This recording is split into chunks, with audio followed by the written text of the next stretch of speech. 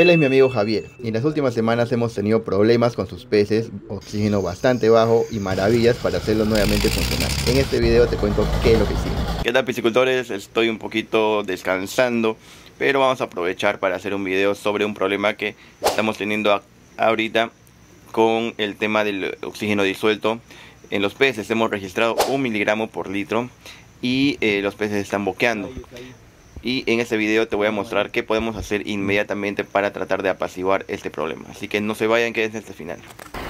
Piscicultores, me acaba de llegar este mensaje. Es un domingo, bueno, como los peces no descansan, yo tampoco, así que ahí vamos.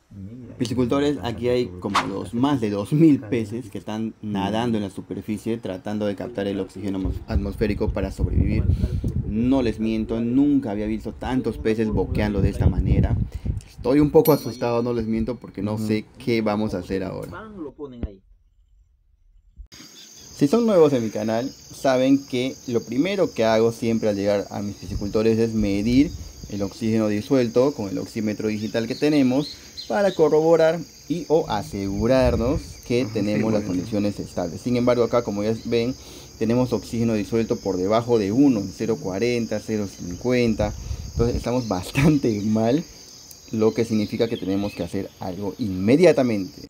Adicionalmente hicimos mediciones con, de transparencia con nuestro disco de Sechi, ustedes ya saben para qué sirve, acá tengo un video explicando esto, para asegurarnos si hay o no productividad primaria. Lo primero que podría estar pasando es que nos hemos sobrepasado en la capacidad de carga de este estanque. Para cálculos sencillos, ustedes ya saben, tengo varios videos sobre esto, vamos a multiplicar 2.600 eh, metros cuadrados por 0.6 lo cual sale 1560 kilogramos. Esa es nuestra capacidad de carga. Sin embargo, actualmente tenemos una biomasa de 260 kilogramos. Es decir, estamos muy por debajo de nuestra capacidad de carga y es imposible que la falta de oxígeno disuelto se deba a eso. A poner a prueba el micrófono porque no sé si, se me escucha, hay bastante bulla. Pero no olviden de suscribirse al canal, por favor. Eh, espero que les esté gustando este video, así que sigamos con esto. Como primera medida lo que estamos haciendo es volver a activar el ingreso de agua hacia ese estanque. Durante estos meses que hemos estado visitando, eh, este ingreso no estaba activo, estaba clausurado, digamos así, pero ya lo hemos vuelto a, arreglar, a modificar para que vuelva a ingresar el agua que tenemos de una fuente, de una fuente de un ojo de agua bastante cercano. Y ahorita les explico de dónde viene. La mayoría de piscicultura en la Amazonía peruana se dan en terrenos bastante eh, sin pendientes. Entonces es una bendición tener agua. Y justamente este piscicultor tiene. Acá le voy a mostrar. Acá les estoy... me caigo. Me enterré. Acá les estoy mostrando, ¿no? Tiene una naciente más arriba, donde comienza a bajar el agua. Y entonces está aprovechando... No quiere salir. Está aprovechando este... Esta correntilla de agua que justamente lo, ha encauzado finalmente por el otro lado con una tubería que está ingresando al estanque que hemos estado teniendo problemas, ¿no? Que estamos teniendo problemas, acá lo vamos a ver. Por ahí continúa la, la quebradita y ahí hay un tubo. Y es ese tubo que les estaba mostrando durante todos estos días y que finalmente está ingresando el agua. No, es una bendición para el piscicultor tener esta cantidad de agua y también calidad, ¿no? porque hemos medido también los parámetros antes de estar. Lo mismo vamos a hacer con este estanque. Tiene una naciente también, la cual va a captar allá y va a haber agua todo el día, todos los días. Ahora que ya tenemos la disponibilidad de agua constante las 24 horas del día, vamos a reducir el nivel del agua del estanque. Es más de 2 metros, miren a ver que le tapa todo el cuerpo y es muy profundo. Entonces si tenemos disponibilidad de agua podemos manejar el tirante de agua entre un metro, un metro 20 y eso es lo que vamos a hacer. Ese es el tubo de salida que ya les mostré anteriormente, ¿no? Miren cuánto ha bajado el nivel del agua. Entonces es una medida hemos agotado para botar un poco el agua que estaba bastante baja de oxígeno, ¿ya? Y renovar con nueva agua. No hemos renovado bastante, diríamos, diría que el 100% se ha renovado. en un periodo de casi 8 días, 9 días, eh, gracias a la disponibilidad de agua que tiene el piscicultor.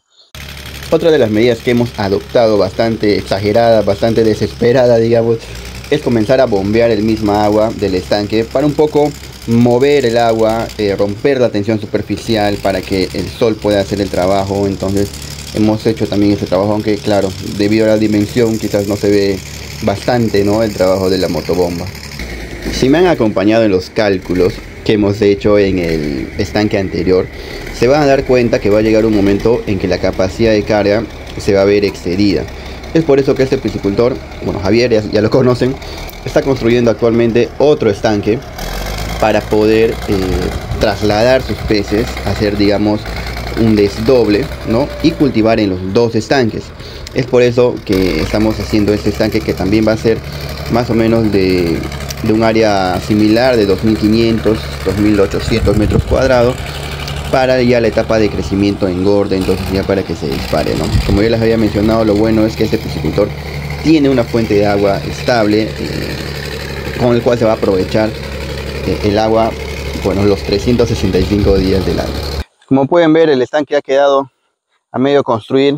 Lamentablemente ha estado lloviendo bastante y ha hecho que, que se incremente el nivel del agua, entonces el tractor, el oruga ya no puede ingresar acá. Eh, entonces lo que toca hacer es botar esta agua a través con una motobomba o lo que me estaba indicando es que piensa hacer una zanja, un canal para que eso salga eh, de manera más rápida. ¿no? La otra opción es que pueda terminar de construirlo con una excavadora. ¿no? Igual tiene que desaguar sí o sí. Entonces esperamos que de aquí a una semana ya pueda estar terminado este estanque. Lo vamos a preparar para poder comenzar a hacer los desdobles de ese estanque porque ya, aunque todavía le falta, falta un poquito todavía para que llegue a su capacidad de carga, pero ya es necesario colocarlos en un nuevo espacio para que ustedes ya saben, el pez mientras más espacio tenga, más va a crecer, mejor se va a desarrollar. Es el día 3 y el oxígeno disuelto no mejora.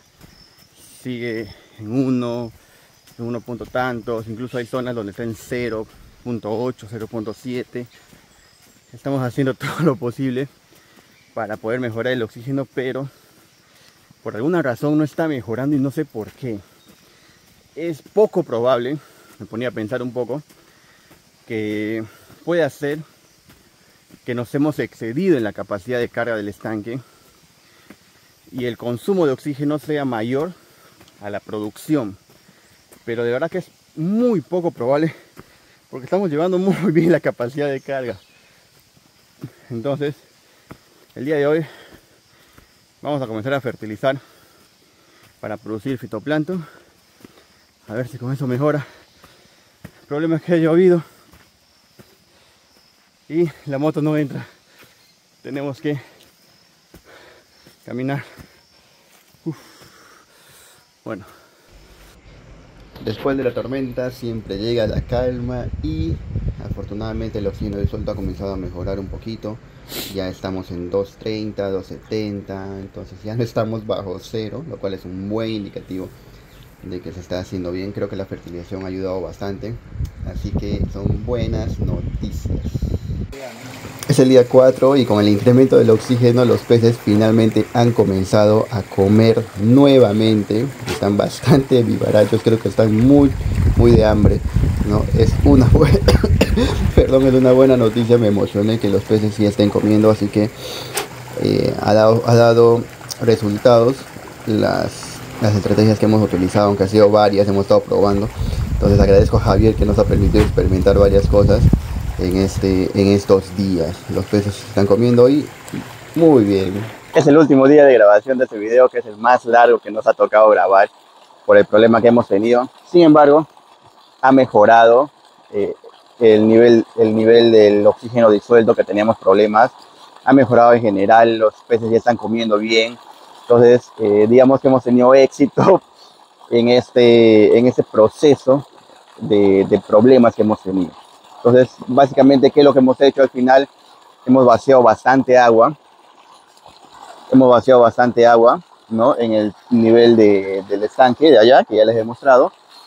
Y fíjense, ha disminuido eh, casi un metro, ¿ah? casi un metro de nivel de agua disminuido. Eh, lo bueno es que acá el piscicultor tiene esa, ese flujo abierto de agua, es decir, ingreso de agua constante. Entonces se puede disponer eh, de la cantidad del agua que puede ingresar, ¿no? Si se dan cuenta, tenemos algún tipo de vegetación, ¿no? Eh, dentro del estanque, que es bastante probable que eso haya estado quitando oxígeno también a los peces. Entonces, eso ya lo hemos visto en otro video y te lo voy a poner por acá para que tengan en cuenta. ¿Ya? Vamos a ver, dar una vuelta por allá. A ver, casi me caigo. casi me caigo. Bueno, ahí está el tractor. Siguen construyendo el estanque. Ahora que hemos reducido el nivel del agua, ¿no? Para, para mejorar, justamente para renovar la cantidad de agua que hay en el estanque, nos hemos dado cuenta que el estanque por los bordes, y es una recomendación que siempre hago en la mayoría de mis videos, siempre hay que mantenerlos limpios, bien cultivados, ¿no? Se dan cuenta, incluso hay hierba hasta dentro del estanque. Entonces, lo cual no es ideal, ¿no? Hay que mantenerlos siempre limpios para poder tener un buen manejo. Recuerden que por aquí vienen bastantes eh, animales, incluso si son pequeños los peces, acá se forman las temibles o donatas, que son los que comen. Wow. Ya no se ve, pero vi unos águilas allá. Unas águilas bacán. Qué bonito. Lo bueno de estar en el campo es que te cruzas con bastantes animales salvajes. Mira, mira. Hay unos loros, ¿los escuchan? Unos pibichos.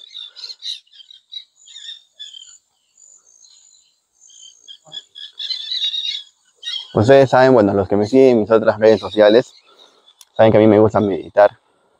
Y a veces vengo donde es el piscicultor que es bastante tranquilo. No se escucha nada de bulla, simplemente los sonidos salvajes. Y es bonito meditar en, esta, en este lugar.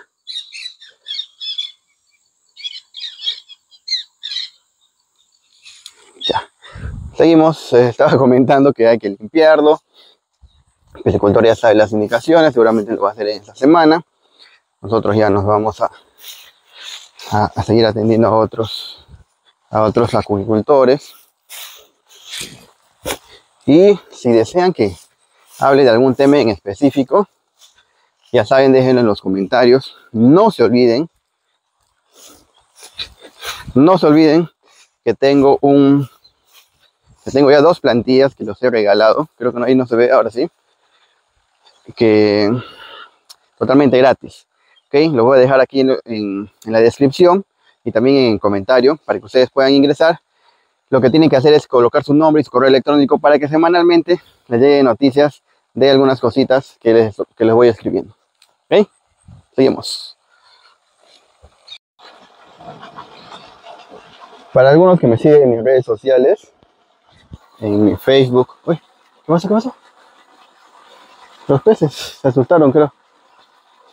Algunos que me siguen en mis redes sociales les decía, saben que a pesar de ser piscicultor, biólogo, acuicultor, con muchos años de experiencia, la única vez que he aprendido a utilizar esta, esta tarraya o tarrafa, como lo llaman en algunos lugares, es en la universidad, cuando un profesor, nuestro querido profesor Mori, en paz descanse, nos enseñó como parte de un, este, como parte de un examen en realidad, que teníamos que hacerlo bien para poder aprobar.